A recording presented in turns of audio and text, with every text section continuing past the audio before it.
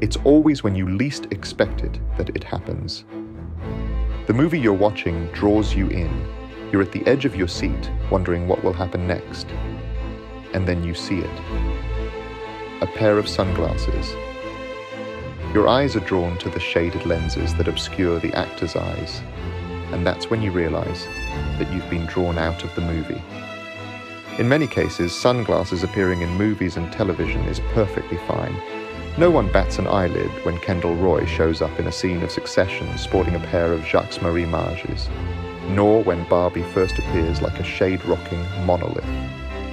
Tony Stark would look wrong without his streamlined aviators, and Audrey Hepburn in Breakfast at Tiffany's wouldn't be the same without her iconic pair of Manhattans. In some other cases, however, sunglasses appear inexplicably anachronistic, like they don't belong there at all.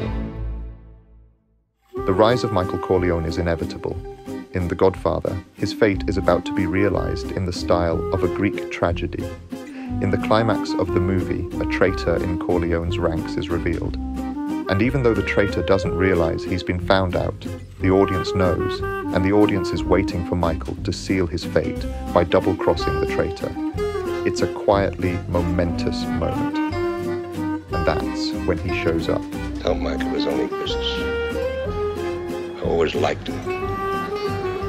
He understands that. Excuse me, sir.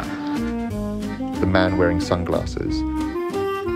The Godfather draws the audience in like a Renaissance painting, whether we're seeing a lively wedding, the Sicilian countryside, or dimly lit offices. Then, this guy shows up with Ray-Ban Wayfarer sunglasses. In an otherwise painterly movie, it's like seeing a painting smeared with tomato soup, or a picture of the Queen in shades, or even Gandalf giving you the side eye wearing a futuristic pair. It doesn't look right. But why? What's the reason behind this? Even though sunglasses as we know them are a relatively recent invention, variations of the idea have been around for quite some time.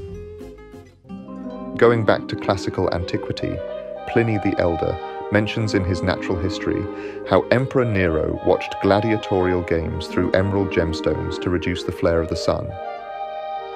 Less anecdotal precursors to our modern shades include snow goggles used by the Inuits to avoid snow blindness, as well as the glasses made of green tinted Murano glass that was used by gondoliers on sunny days in late 18th century Venice. During the 19th century, green tinted spectacles turned into quite the craze, and they're mentioned several times, amongst others in the works of Edgar Allan Poe, where they often functioned as a signifier of high class. A well known figure who rocked green tinted shades was the Romantic poet William Wordsworth, whose bad eyesight made him sensitive to bright lights. Sunglasses rose to mainstream popularity in the 1920s when movie stars were seen wearing them in public. It was only at the end of that decade that modern mass produced sunglasses were introduced by Foster Grant. Today, Foster Grant is owned by the Italian corporation Essilor Luxottica, which also owns, amongst others, the brands Ray-Ban, Oakley, and Oliver Peoples. Essilor Luxottica has a yearly revenue of more than $20 billion, hinting at the fact that sunglasses are so common today that their presence is never even questioned. They're a part of daily life, they can be a useful accessory, and they can be a symbol of luxury. You know what? I left my wallet in the car. I'll catch you next time. In some cases, their function as protection against bright lights might even be secondary to their aesthetic and socio-cultural value. Since The Godfather takes place in the late 1940s, the presence of fashionable sunglasses isn't in any way anachronistic. It doesn't break with history in the same way as, for example, Django Unchained does. However cool Jamie Foxx looks wearing his round shades, fashionable sunglasses weren't a thing at that time. But historicity isn't the main factor here. In Django Unchained, sunglasses are intentionally anachronistic, and even though it raises a few eyebrows, it's an artistic choice Tarantino can get away with. The bizarre thing is that sunglasses most often look out of place in cases where their presence isn't necessarily unlikely. Why do sunglasses feel so anachronistic even when they're not? To answer this question, we first need to understand the role of sunglasses in costume design. In 12th century China, glasses made of smoky quartz were worn by judges, not to shield their eyes from the sun, but to obscure their emotions from the people they were judging. In the film adaptation of American Psycho, we're shown a character study of a man who hides behind a veil of confidence to obscure his deep insecurities and fear of standing out. These suppressed fears manifest themselves as fantasies of an extreme violent and sexual nature. After an implied murder the night before, we see Patrick Bateman in his office doing a crossword, his eyes obscured behind a pair of large, dark sunglasses. His eyes are only barely visible through the shaded lenses. His eyes are quite literally shielded from the audience as well as from the other characters. An often used description in literature is the phrase, the smile never reached their eyes. There are many cliches focusing on precisely the eyes, such as, the eyes are the windows to the soul. Common to all is the focus on the eyes as the key to a person's true emotions. The importance of eyes to read a person's feelings is not to be understated.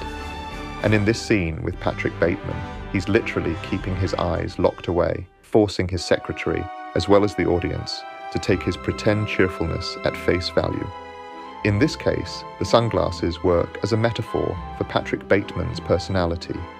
They represent his desire to be someone he's not, his need to hide behind a veil of sameness that makes him virtually indistinguishable from the other men in his social circle, where you can only make an impression with the quality of your equality.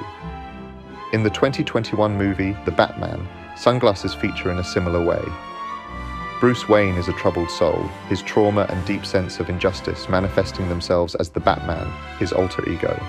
But Batman bleeds into Bruce Wayne, the border between the two personas becoming blurred. The sunglasses he wears inside his penthouse mansion functions as a representation of the blurred lines between Batman and Bruce Wayne. In both of these cases, sunglasses represent an escape from the need to show true emotions. Their primary function is as a disguise, hiding the true self behind tinted glass. Sunglasses therefore result in a kind of uncanny valley effect, where the face we're shown doesn't look quite right, as if a crucial part of it is missing. When consciously used in this way, sunglasses underlines the personalities and behaviors of the characters wearing them.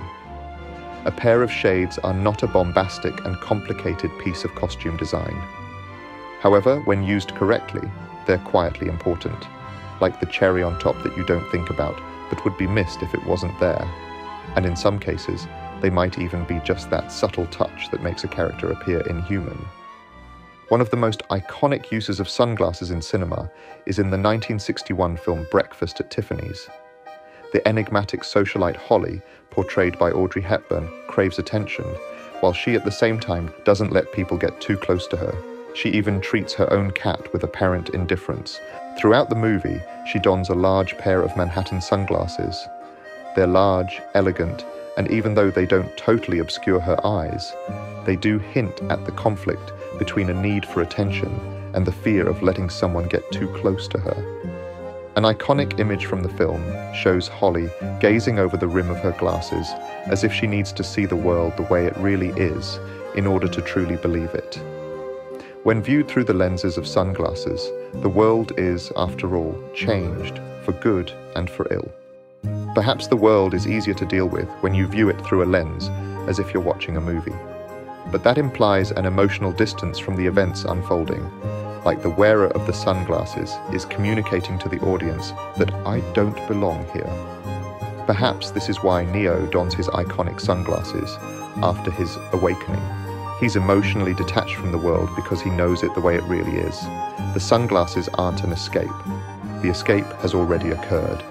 The sunglasses are instead a symbol of his new reality, a barrier that separates him from the illusion he once believed to be true.